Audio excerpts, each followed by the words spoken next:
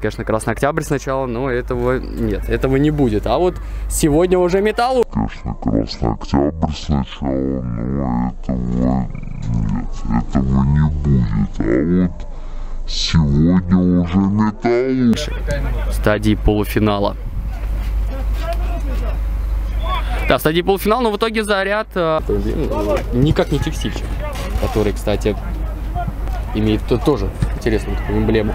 И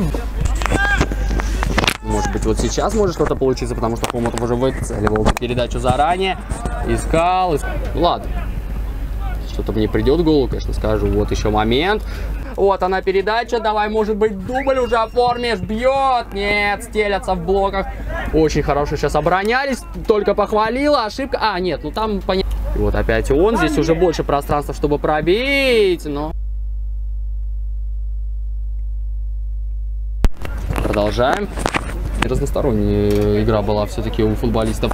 Сильчика, но все равно не могли тоже никак забить, хотя ведут счете хорошо. Вот в пятницу Ева и Лацо старались тоже как можно быстрее постоянно разыгрывать. Так, а здесь, ой-ой-ой, слушайте. Хватит.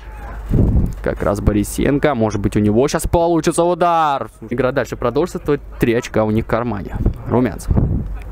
Отличный пас. Большаков, ну слушайте, уже начинают, начинают понемножку и прикрывает оборону. Так, а здесь хорошо очень разыграно. От э, большего разгрома. Но 4-1 тоже, на самом деле, уже близко к разгромному счету. Шаков скатывает пяткой на Румянцев. Тот пробивает, но вот нужно было. За исключением, конечно, вот э, последнего момента именно передачи. И вот он шанс для работничков. Ну, ну, нет, нет, не уже все, уже потерян этот. Сейчас Загорулька бьет, но вот, да, уже какие-то супер э, предложения сочинять. Скажу просто вкратце, да, благодаря своей такой между собой уже было ясно, что будет в этом матче. А на самом деле не так, Сидоров. Еще момент. Забили, ну ладно, я думаю, для них это не, не прям уж критично при таком разгроме. А здесь Урка, именно он пытался забить. А нет, Хомутов пошел. Вот как раз Загорулька сейчас был, возможно, на добивании.